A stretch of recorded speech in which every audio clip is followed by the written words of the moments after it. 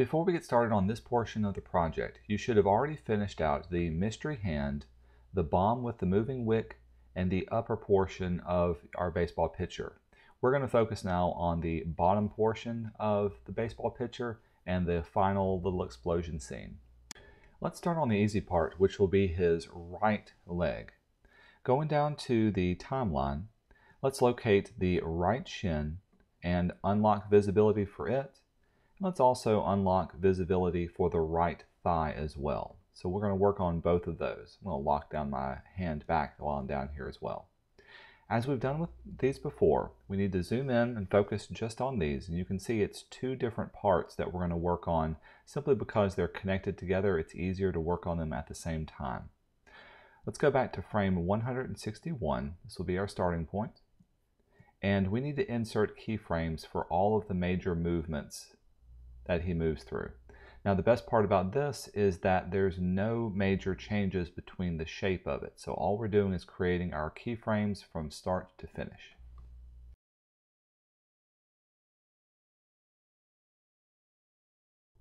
So on my timeline, you can see I've got keyframes for both the right shin and his right thigh. And we're going to be working on both of these at the same time, and then later on adding their tweens in between each one of those. Now let's go back and reposition the thigh and the shin wherever they need to be.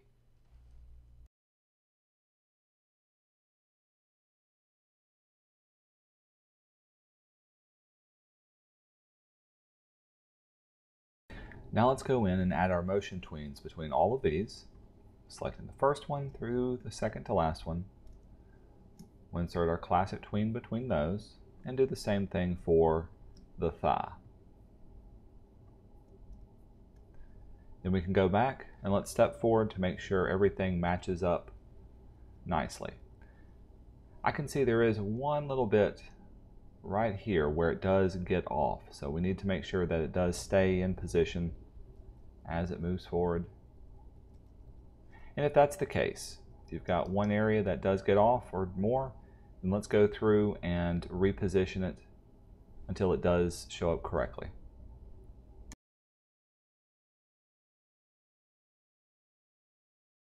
Alright, with new keyframes added to adjust for the incorrect one, let's turn back on our looping, set it between just those keyframes that we need, and let's play through and test it. So far that's looking really good. Also while we're down here, let's go ahead and turn on visibility for our rightmost foot. The foot, it's not going to move, so we don't have to do anything to it, but we do want to keep it visible so we can see how this is working. Now let's focus on the left foot. We'll go down to our timeline and let's locate the left thigh and work on that left thigh first. With visibility turned on, we can bring it in. We'll go down to frame 161 and let's step through and add all of our keyframes. Now that we've set up our keyframes, have a look at the shape of the thigh at the beginning and the thigh at the end. It may look very similar, but at some point it will change up significantly enough where we're going to have to redraw a second thigh.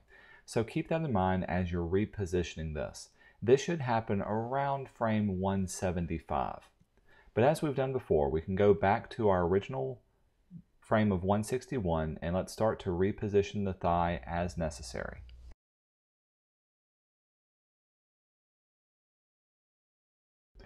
Now that we're on frame 175, I'm going to step forward to frame 176 and insert a new keyframe because this is where I want to start to redraw a new shape for my thigh. With that done, let's break apart our current little symbol that we have. So I'm going to right click on it and choose break apart. And this will turn it into a solid object and let's break it apart one more time This will turn it into an object that we can edit and add on to.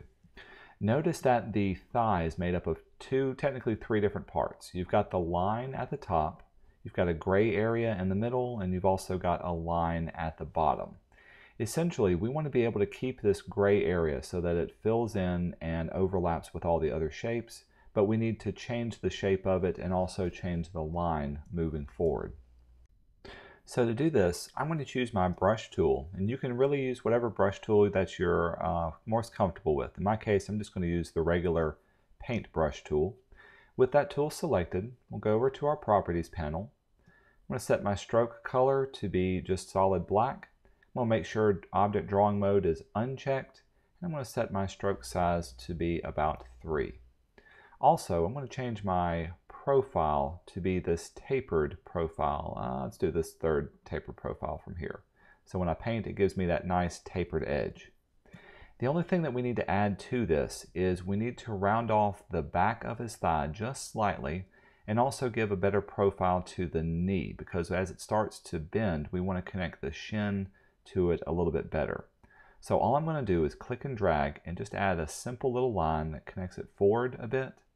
And let's do simple line that connects back a little bit more, maybe even curve it off. There we go. And then the simple line connecting here, going down just a bit more.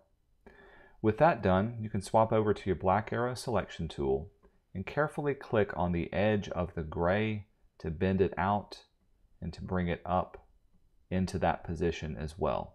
So this is going to give a better profile for the side of his leg. Now, if you want, you can always go back and you can try to, uh, to fix this up and have it look however you wish. Once we've done this, we need to save this as a separate symbol, and this is very important to remember. So with that done, I'm going to select everything that's on here now, all the different parts that we just drew off, and let's right click on it and choose Convert to Symbol. We're going to call this the new thigh. We don't need any advanced. Make sure it's a graphic, it's got center registration, and we'll say OK to that. Moving forward, we need to use this new thigh on all of our new frames that we created. So I'm going to step forward and make sure to delete away all of the old thighs that were there because we want to use this new one for all of the future, uh, future frames as well. So with that selected, we'll copy it, move forward to the next keyframe, of course, we need to replace it. Let's go up to Edit and Paste in Place. And then we need to rotate it up into position as well. Now, one thing I want to point out as I work through this is that not only am I rotating it, I'm also distorting it and skewing it. So I'm clicking in between each of the little key handles in order to nudge it into place. That may not be obvious from what I'm doing or seeing on here, but that's how I'm getting that good distortion. In addition to rotation, you also need to skew the object. With all of that done, now let's go down and add our motion tweens. Remember, we've got two different icons or two different symbols that we're tweening. So let's do a motion tween between these first ones all the way up to frame 175. So selecting those and create a classic tween. Then by here, it swaps over to our new symbol and we can create a motion tween between these last few frames as well, creating a classic tween for all of those. Now let's play through and test it. So far so good. Let's see if we can match that shin up to meet the upper portion of the thigh. We'll go down to our timeline, lock down your thigh for the left and locate the left shin and let's unlock this one. As we've done before, let's go down to frame 161. We'll pull this into view as well. And let's step through and add all of our different keyframes. Now let's return to frame 161 and step forward in making sure that the shin makes good connection with both the foot and the knee as we move forward. Now when we do this, of course the first frame is okay we want to nudge it forward and most of the transformations I'm going to be doing are going to be simple skewing. So I'm going to click in between both of these and drag it back into position. If it also helps, you can turn on visibility for your left foot at this particular time. Now that foot's going to change up, but I'm going to keep it the same for now. So we'll move forward. In this case, we need to nudge it over again, putting it into position, and then to either rotate back into position or you can skew it just slightly as needed. Moving forward, rotate and skew. Repeat this process until you get good results for each of the different each of the different keyframes.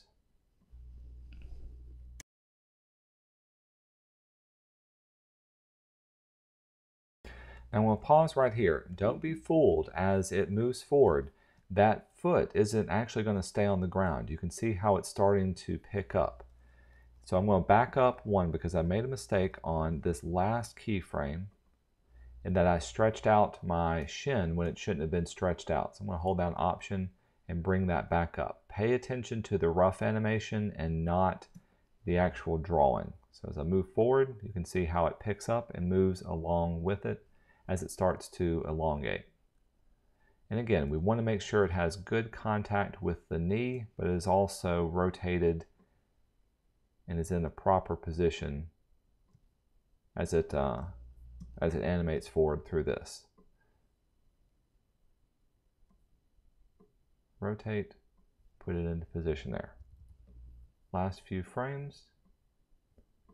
Again, makes contact with the knee, looks natural, but also goes into position here, and then do the final frame.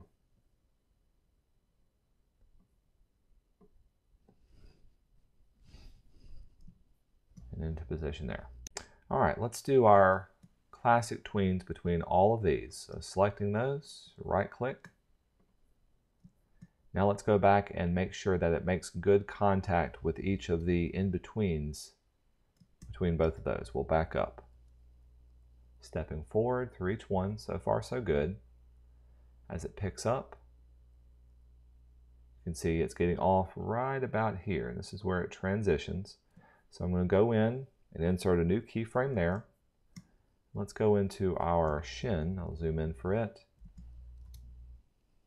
And let's reposition it where it needs to be. In that case, I'm going to scooch it down just a bit more. Now between those two, picks up, it's off by this one, so we'll go in and insert one more keyframe there. And we'll nudge it over, kind of back in position there. So between this one and this one, I think this one's off by just a bit. We'll nudge it over, and it goes up into position for all of those. Let's back out and see the whole thing. We'll play through. Great. So now our legs are set up and looking good. Let's focus on getting that leftmost foot. We'll go down to our timeline. Let's unlock that left foot. We'll lock down our left and right, excuse me, left shin and left thigh as well, but make sure we're working on that foot layer. And returning back to frame 161, when we step forward through these, you can see the foot doesn't necessarily make any movements for the first few frames. It's really only until frame 170, right there, 173, does it actually pick up.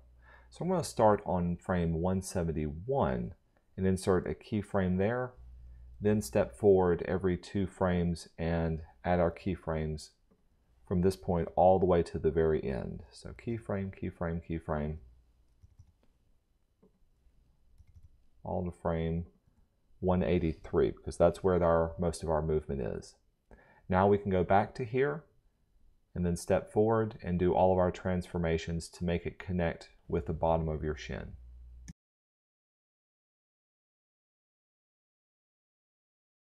All right, now let's throw on a motion tween.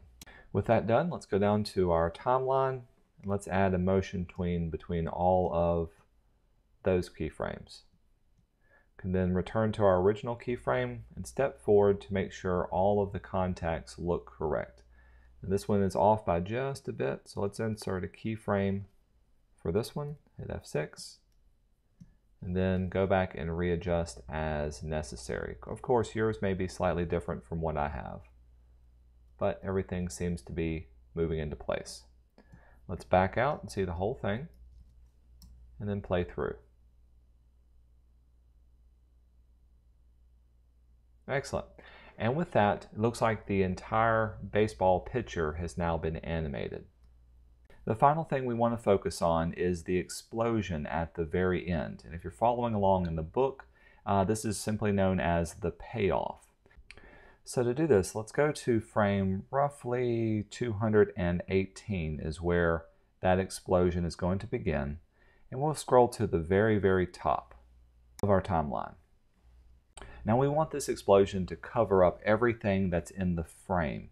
So go into our timeline, after we scroll to the very, very top, I'm going to close out my cleanup and add another layer that's on top of this. And we'll call this the explosion. On this explosion layer, let's go down and locate the keyframe where the explosion starts, which will be frame 1, or excuse me, 218. And let's insert a keyframe at frame 218.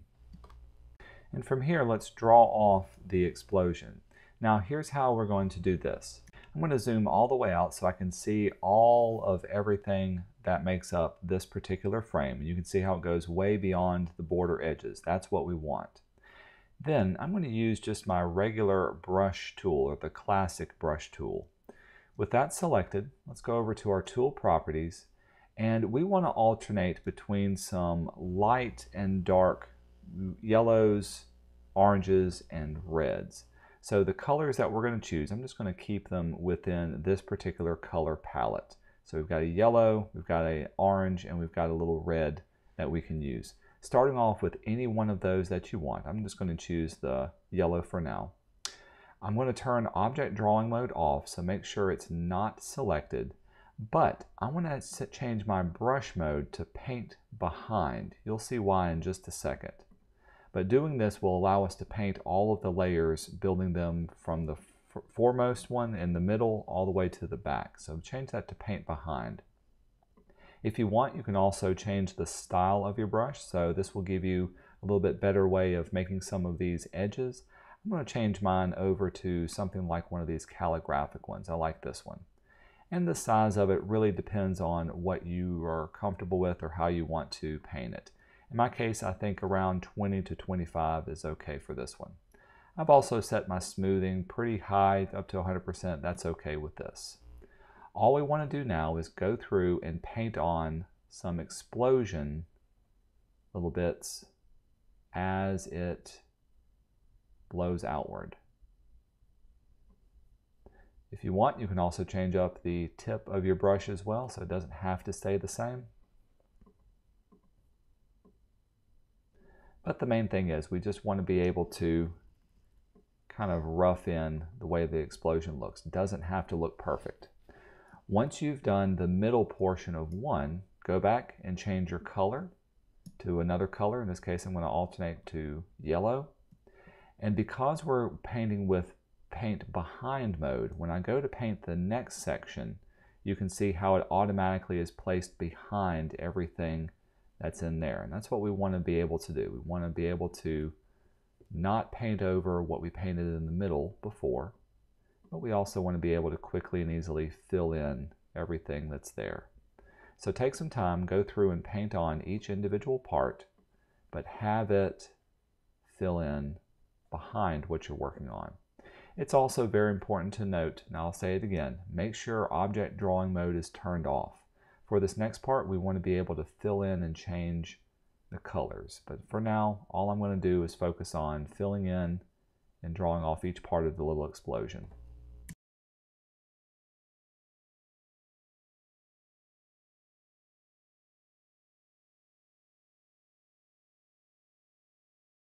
Now let's turn this explosion little thing that we've created into its own symbol. Clicking on the little keyframe, this will select everything that's inside of it. With everything selected, let's right click on this and choose Convert to Symbol. With that selected, we'll call this the explosion.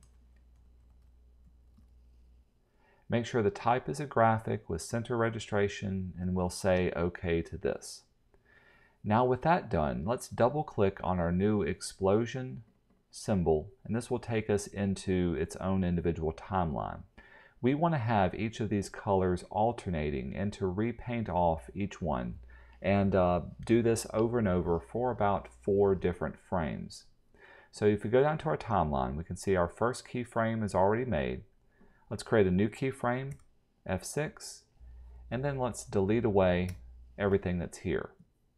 Now as I paint it again, I want to alternate the colors. You can see in the first one I started off with orange, yellow, red, orange, yellow. Maybe this next one I'll start off with a different color. So I'll start off, grab my paintbrush. Instead of orange, I've already got red loaded up. So I'll go back in and I'll paint in the same thing, but with starting off with a red color.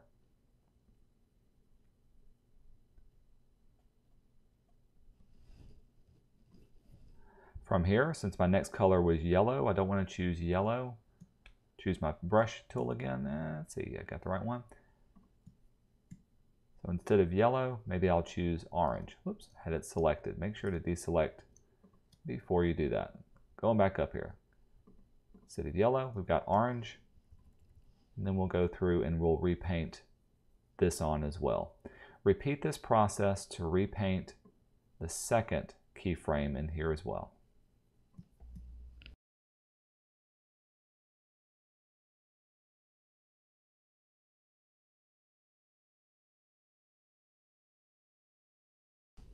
All right, with a second frame created, you can see how it's going to alternate between both of those. Let's do the same thing two more times. Create a third keyframe. We'll hit F6. Delete away everything that's there.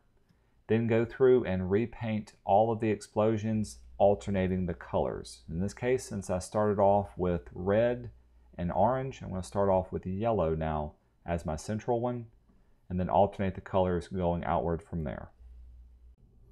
With this part done, you can now see I've got four frames and each one of those frames has a different little color explosion inside of it.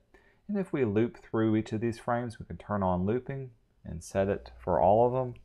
You can see how it'll give you an idea of what the explosion will look like. Now that we're done editing the symbol, let's go back up to scene one.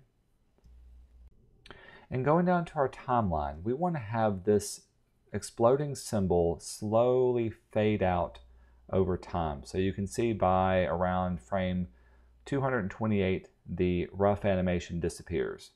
So let's insert a keyframe at frame 228. We'll hit F6.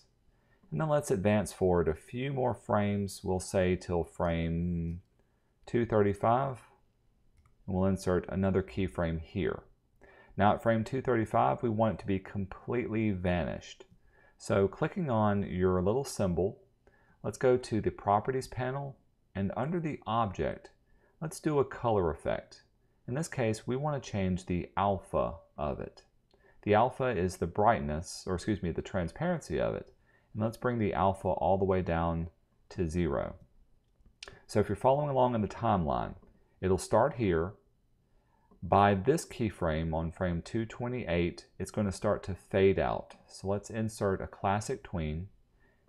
And you can see how it's going to fade out that to nothing. And this will reveal our exploded baseball pitcher. Now in order to see it, we need to get rid of our explosion. So I'm going to insert one more keyframe right here at the end. And with everything selected, we're going to delete it away so that it stops right there at that end. Now to show the baseball pitcher, here's what we want to do. I'm going to turn off visibility of this. And you can see by our rough animation, it's the baseball pitcher in his last pose, but they've redrawn over him to have tattered uh, uniform and parts of him are blown off, and it just kind of looks nice and funny. To do this, we're going to redraw the entire picture back in this position. So I'm going to go down to my timeline, and on the cleanup layer, we're going to create a new layer on top of it, but below the explosion layer. We're going to call this the boom picture layer. Now, to not avoid or not to draw my explosion layer, I'm going to turn off visibility for it, and I'm going to lock it down just to be on the safe side. Make sure boom picture is selected. Now to draw on top of it, for now we're going to insert a keyframe right here at about 240. And we're going to use our drawing tools to redraw off everything from here. Later on, we're going to move it into position on the timeline, but it works best to draw it off from here. Now you can use any of the drawing tools that you're comfortable with as long as the color and the relative outline look about the same. What I would recommend doing is drawing the black outline around everything first, then going in and fill in everything with the appropriate color uh, that you need.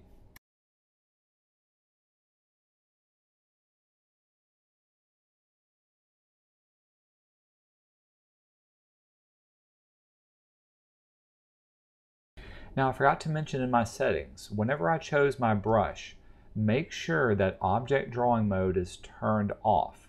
When you make your lines, you want to be able to select them and have the little dots appear on the inside of it and not have a blue box around it. You want to do that because the next part of filling in the colors is going to happen using your paint bucket tool. This paint bucket tool will only detect the edges if it's inside of a normal drawn object and will not work if you've got object drawing mode turned on. So with that done, I've got my paint bucket selected. You can go over to your fill colors and you can see all of the colors that were used in the different shapes are down here at the very bottom. So for instance, if I needed to fill in his skin tone, I can select the skin tone, let's zoom into it, and carefully click on an area that we know is going to have just this skin tone. Here we are here. Now if you click on the inside of it and nothing's happening, it's not filling it in, the next thing to check out is going to be the gap size that you have. If you want, you can tell it to close large gaps, and with that selected, when you click on the inside of it, it should start to fill in more areas. Just be aware that there still may be some areas that you'll have to carefully click inside of in order for it to recognize where that is. Take this one part at a time. Now, if worse comes to worse, you can always use swap over to a brush tool and paint in the exact color right where you need it to be. For instance, on his glove, I know this area needs to be white and maybe a few areas up here where his fingers are.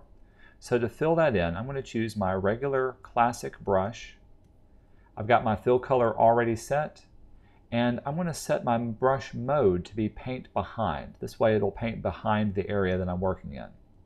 Also with that done, I can change up the size of my brush. In this case, I'm using my bracket keys next to the P in order to change the size of the brush. Now when I click and paint inside of this area, you can see that it's going to add that part behind the area that I'm working on. So take your time, carefully paint in what you need, and let Illustrator or, or Animate illustrate the parts that you want.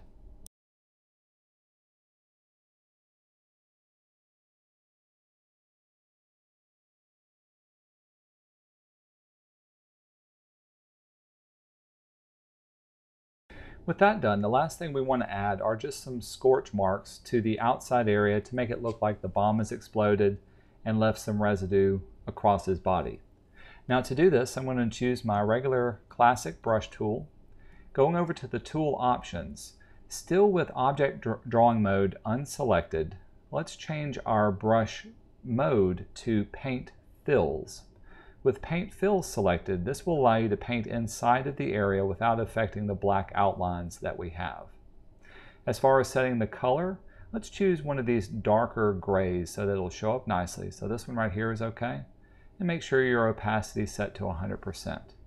If you want, you can also change the profile of your brush to something a little bit more jagged, and you can adjust the size of your brush as necessary. I'm going to make mine just slightly larger.